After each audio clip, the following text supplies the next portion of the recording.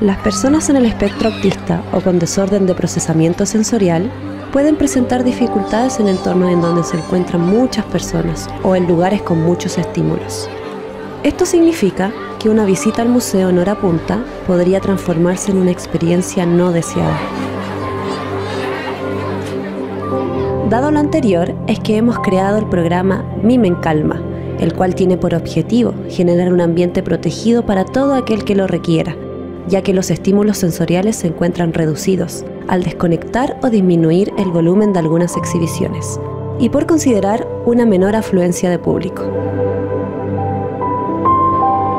Esta es una iniciativa inclusiva que se activa el último domingo de cada mes, durante la mañana, y pretende mejorar la experiencia de visita de las personas en el espectro autista, sus familias y la de cualquier persona que necesite de un entorno más tranquilo para disfrutar del museo, sin el ajetreo y estimulación de una visita normal.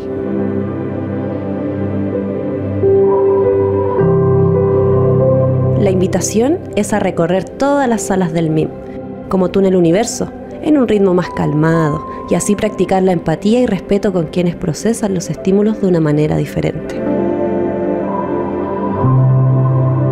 Quienes no tienen entradas para horario MIM en calma podrán ingresar al museo una vez terminado este bloque de horario y así no sobrepasar el aforo necesario para el desarrollo adecuado de esta actividad. Te esperamos.